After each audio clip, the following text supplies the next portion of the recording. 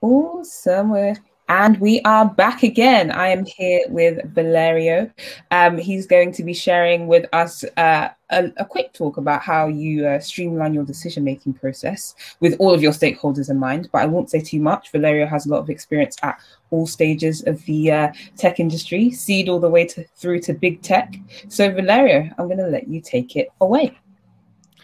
Thank you, Precious. Uh, thanks, everyone. I'm very excited to be here. Uh, it's been a really an exciting couple of days, so hopefully last day will be just as good. Um, so about myself, I've been in and around tech for most of my career, predominantly in product um, at companies like uh, Monzo, Facebook, and Google. Um, and right now, I'm actually uh, starting a new company, um, it, which is still in stealth mode within the climate tech space, which is very exciting for me. Um, and what I'm here to talk about is lean decision making. Um, and so, one of the key aspects of being a product manager uh, is driving clear and robust decision making. And that often involves multiple functions within the business uh, and all, all of them having competing priorities. Actually, that can really be said about literally any role uh, within the company where their job is to facilitate decision making. And so, one of the things that I've been really passionate about during my career was really to find, develop, and, uh, and, and scale frameworks that uh, worked well within small teams and then larger teams and small organizations, large organizations um, but just to really put structure around how we do things. Um, and so chances are that you know you're quite familiar uh, with a framework like this, pros and cons. And so a common pitfall in decision making is evaluating decisions based on a binary criteria like pros and cons or benefit impact. And so there's you know benefit cost and uh, impact effort.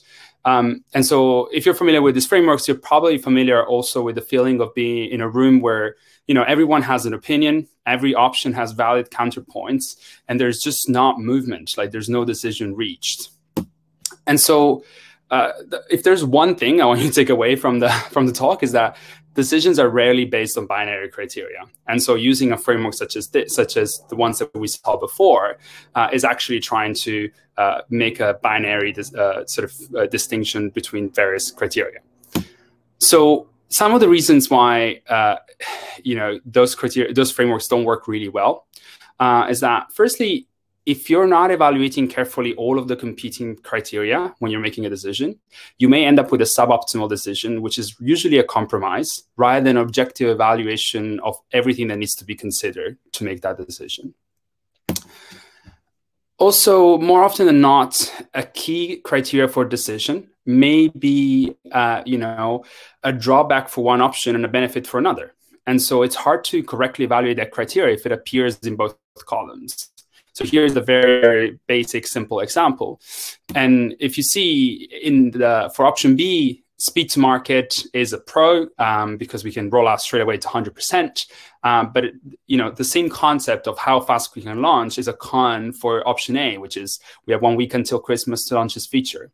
Uh, and so it's quite hard to draw the line whether sp- speed of uh, speed to market is overall uh, something we want higher or lower also the more functions you get involved uh, and the more the criteria you're going to have. And i think this is particularly true for product teams that generally have to interface with a lot of different teams you know engineering sales legal uh, customer service marketing. And so your engineering team may care more about resilience. Uh, your sales team may care more about speed to market. And then you have the legal team that may prefer a solution that doesn't actually require the tncs to be updated and so on so how can you bring all of these competing priorities into just a simple binary classification? Um, most people tend to shy away from conflict. Uh, obviously, nobody likes conflict. But uh, what I'm sure you like even less is sort of for a conflict to arise during a key meeting and derailing the discussion completely to the point that you can't reach a decision. And so with binary criteria, it's harder for your counterparts, your stakeholders, to highlight their own trade-offs, their own concerns, and their own recommendations. Simply, simply put, their cost-benefit analysis is going to look very different than yours. And so, another another sort of bonus uh, nested in here is that this kind of framework, pros and cons, or cost-benefit, etc., makes it really hard to spot spot any Trojan horse. And what I mean by that is, you know, nested in all of these bullet points, you find that our system actually won't handle the expected increase in traffic. And that's going to be true whether we launch to 100% today or if we do a slow rollout, because eventually we will get to 100%. And so these kind of things are hard to spot if you're just trying to simply analyze one of the different options um, as a pro and cons list.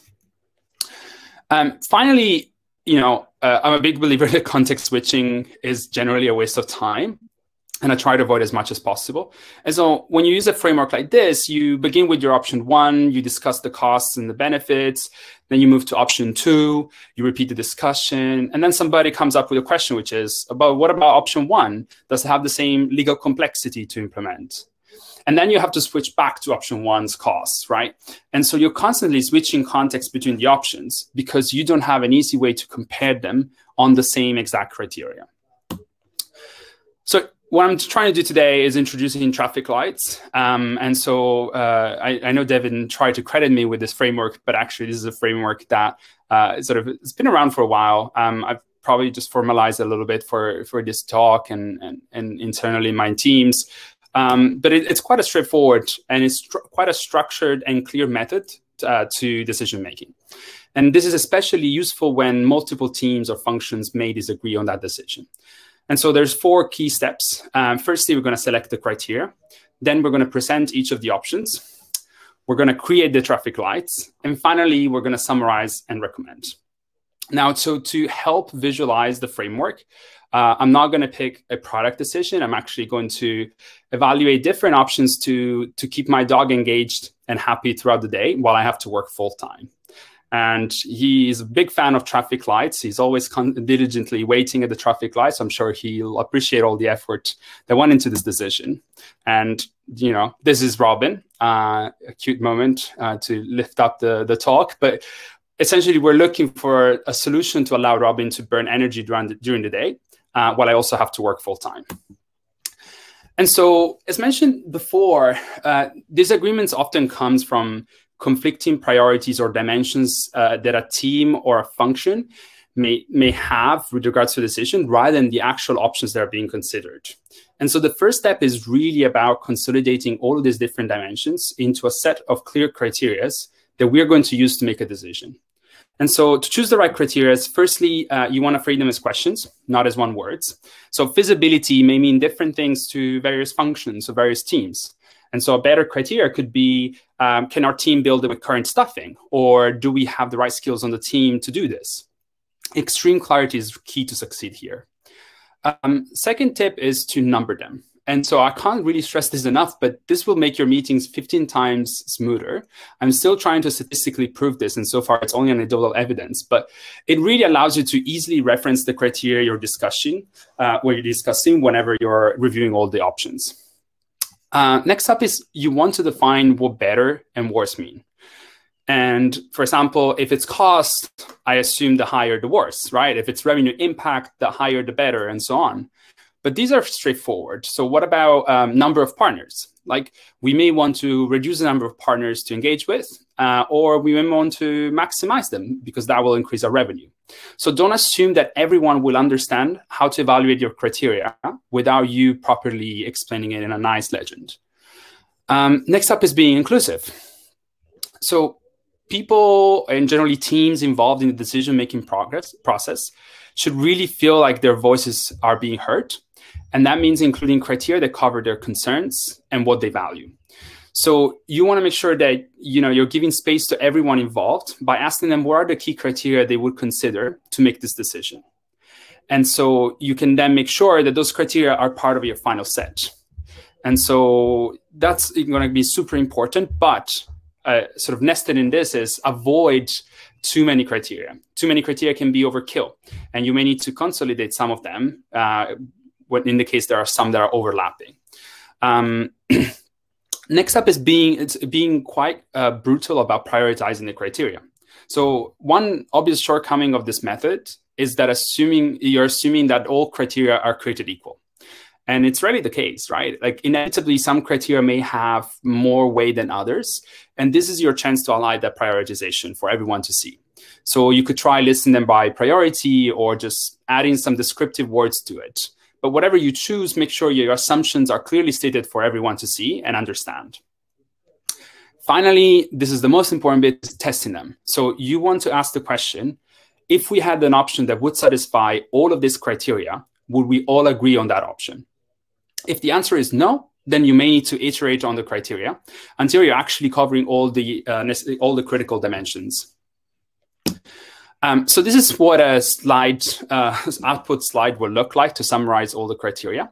And you can see that I'm listing out a number in all the different criteria. And so an, an example is how much energy will Robin burn? And so I add an explanation of that criteria. And so in this case, the more the more energy they can burn, the better. Um, and how much will it cost me? There's like an interesting point there, which is we want the cost to fit within my current budget, and that's a non-negotiable condition. So that gives more color as to how we're thinking about the various criteria.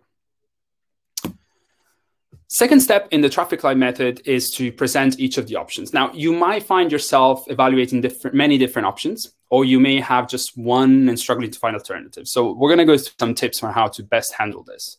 Firstly, you want to summarize the option with a short name. This should give a really good overview of what the option is. A bad example is feature update, right? A good example is ship feature X to 10% of users.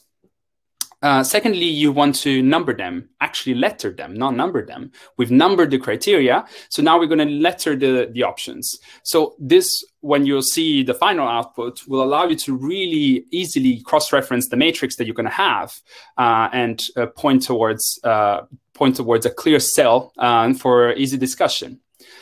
Um, you want to also be able to provide context on each of the option, right? So if I were one of the key decision makers in the room, what would I need to know about option A uh, to carefully evaluate it, right? And so some problems may require longer and more detailed explanations. Others can be summarized in a short slide. You know, this changes a lot depending on how much context the key decision makers already have about the problem and how maybe removed they are from your team. Um, so it's important that you can provide the right level of context on each of the options. Finally, if you have one, only one option, my advice is just to take the opposite of that option and then find a middle ground. So even a simple yes or no decision can then be boiled down to you know two different options that can be evaluated against the exact same criteria you've chosen. And then you can find a third one by sort of thinking about what a middle ground might look like. Just, you know, my advice is to get creative on this. And so here are what the options are uh, for our Robin case study. Uh, firstly, we could hire a dog walker. Um, that you know, there's a little explanation of what happens. They you know they take Robin out twice, uh, so, so for two hours a day. Um, I could enroll Robin in doggy daycare. They will pick him up at 8 a.m., drop him off at 5 p.m. Um, and finally, I could just make more time for walks, right? So just blocking times in my calendar and take him out on a daily basis. Step three is finally the uh, traffic light. So you've got your criteria, you've got your options. Now it's time to put them together. The most important tip here is that three colors only. So have you ever, if you ever seen a traffic light with more than three colors, please let me know. I'd love to see it. I'm pretty, much of a geek when it comes to mobility, um, but you know that would be very confusing. And so colors are a helpful way to easily visualize the key points that you're trying to make. And there's a general assumption in what each color means, right? So you have green for good, amber yellow for average, and then red for bad.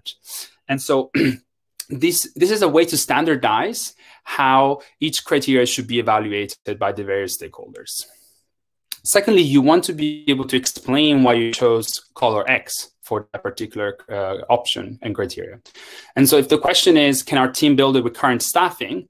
You know, your answer is just, if your answer is just no, that's, you know, not going to help anyone else make a decision. So you want to elaborate in a concise way why you chose that color. And so an example, uh, that a better example for this is our team is already maxed out on priority X, specifically on the front end engineering side. So here's how a traffic light looks like uh, for option A. Uh, and I'm not going to go through this very much in detail, uh, but you can see sort of there's a clear color coding, there's a clear explanation as to why we gave that particular color for each of the criteria. And so, you know, how much will it cost me? That's like $10, $15 a day, and that's within my budget. Um, and uh, the others are sort of like somewhat average. Uh, and I've done the same for option B, and then again for option C. And so we finally get to uh, step four. Uh, and this slide that I'm going to present is really where you should be spending most of your discussion time, right? So if you follow all of the steps above and in, in the slides just before that, we, that I showed you, you should really find yourself with a slide that visually gives an easy way to understand what the various trade-offs are, how each criteria may conflict with one another, and what the recommended option is. Uh, so firstly, make a recommendation.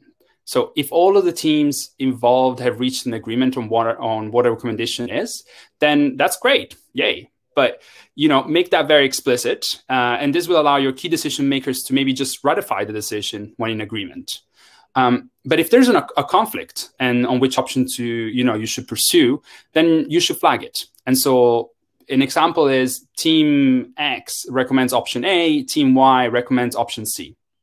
And that helps really understand where the sticking points in the discussion and decision making are for the key decision makers. Uh, lastly, don't be scared to live update the, the, slides. And so you may uncover new information during one of your meetings, the decision meeting, uh, and that's going to affect how you evaluate all of your options, right? And so the worst thing you can say is, thank you, but let's keep looking at the slides. Uh, like, you know, we can change them later.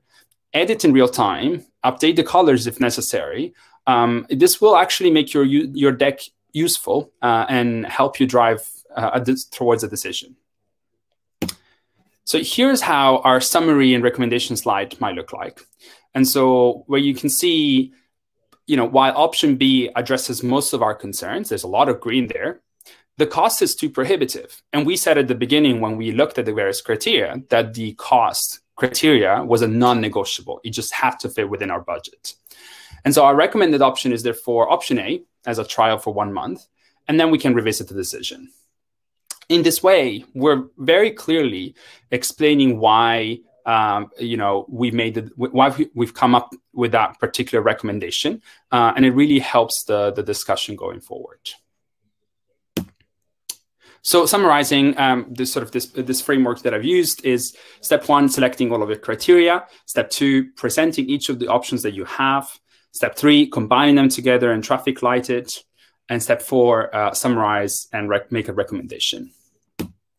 So hopefully this framework will help you, you know, make decision in an easy and structured way. And that's and it's also going to bring everyone, you know, all of your stakeholders along the, that journey with you. Uh, what's next? Uh, it's how do you embed this framework in your ongoing process? And so I've got a couple of tips for that that I've followed over time. Firstly, keep track of every decision made right? You want to have a clear link to, you know, the relevant deck that you use to traffic light the, the, the various options. Uh, and make sure that you're clearly labeling when a decision has been reached and sort of like what the discussion was, etc. And you can use it as a reference. So whenever there's a, a new stakeholder or you need to revisit a decision, uh, that actually is a super helpful uh, document to pull out. Secondly, I recommend setting up a decisions meeting on a recurring basis. Um, and so this could be called anything, right? Uh, so sometimes we called it a product council. Uh, sometimes we called it uh, a actual decision meeting in a team once. But um, that is a meeting that you have on a recurring basis. Uh, and you use a master deck to collate all of the decisions ahead of the meeting.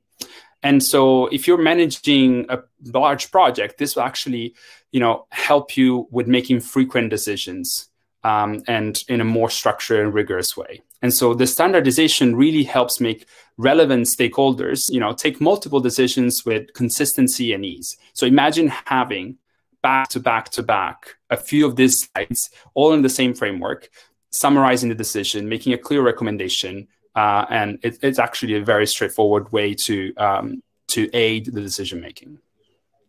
Finally, you want to get your stakeholders to to adopt the framework themselves, and so this process will become uh, like easier and easier over time. If also your key stakeholders are using that framework to surface their own decisions to you, and so that's really all about exponential impact.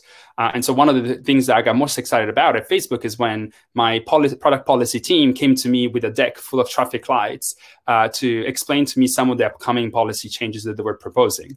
Uh, and I call that a huge win for me. Um, so I think that that was in the end for me. Um, and so I very much look forward to all the questions. And uh, thank you, everyone. Thank you, Seedcamp, as well, for having me. Uh, so over to you for questions. Hi, I am here to help facilitate those questions. Um, thank you so much. That was really great. I guess it would be um, good to know from your side in particular, like what, where have you, um, what, how have you found it best to present all of the options when it comes to the actual um, traffic light uh, process? How do you mean? Sorry. In terms of like when you're presenting all of the options to your to your team, you know, how have you found yeah. what has been the most effective, sorry, process of doing that?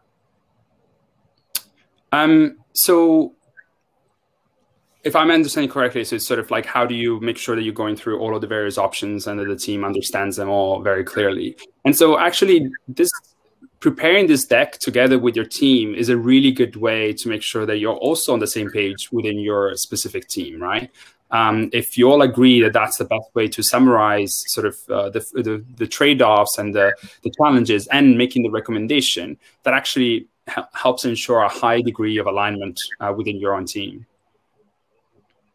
Awesome. Awesome. Uh, and I think there's also one within the event chat uh, just here as well. Um, let me just pull that up because there are many, many different places. Uh, give me one second. Yeah, okay. So it says, have you ever had to mediate misalignment on choosing criteria, like when different parties have very different expectations? Yeah, so uh, this is a really good question. And actually, you'll find that most of the misalignment will not come from uh, sort of the choosing the criteria and which ones are the criteria that are important, but it will come from actually how do you assess something against that criteria. And so there will be teams that may disagree with you of saying that that's um, a green versus a red. Uh, mm. But generally speaking, when, the more inclusive you are uh, in, in getting everyone's criteria on board and sort of uh, collating them in the right way, uh, the better it is. I did talk about one of the fallacies, which is like having a hundred criteria. So I wouldn't mm. recommend more than like five. Five. Um, but it's usually like relatively um, that, that, that's usually a relatively good number uh, to make a decision. If you see that you have too many criteria, then maybe uh, there's an opportunity to break down the decision into smaller pieces. And I think that's sometimes something that is also really important. You might end up trying to make a very big decision and trying to oversimplify it. Uh, whereas in reality, you might be able to break that down into multiple decisions that get you the same way. Awesome. That makes a lot of sense. Just gonna uh, see if there are any more questions within the chat. I can see two in the stage. In the stage, here we go. Honestly, so many different spaces and places. Here we go. Yes. So yeah, one from Tim. Okay, so how do you decide which decisions are relevant enough to use in the framework? Yeah.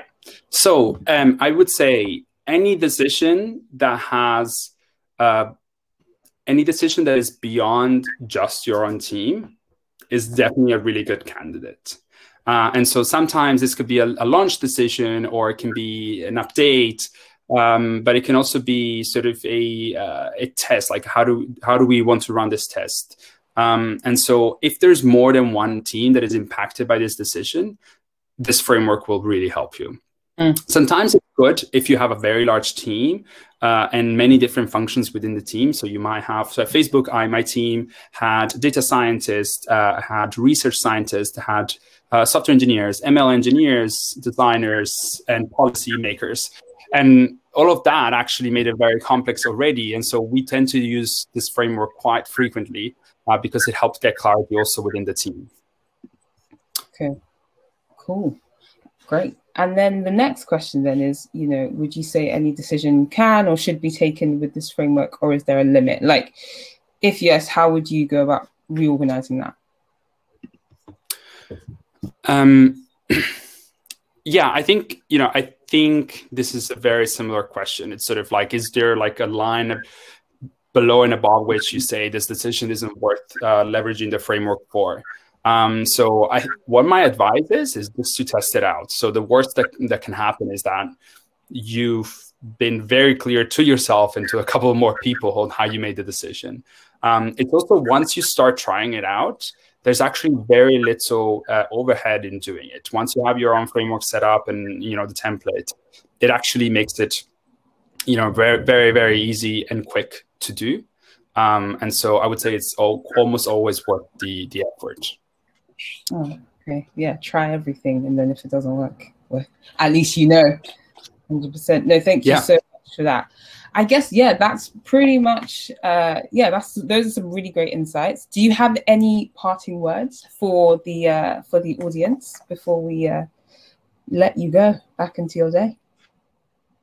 Yeah, um, I would say also based on the questions, I, I think the most uh, important point that I want you to walk away with is that this should be a collaborative effort. Um, mm. And so the more you can be inclusive and the more you can uh, bring the other stakeholders into the decision making and to the you know building it out through the framework the the easier and the smoother the process of making the decision will be. And so you'll make sure that the, all the right criteria are taken into account that uh, all the right voices have been heard but also that they've had a chance to chime in into how to best evaluate various options and even like suggest other options right?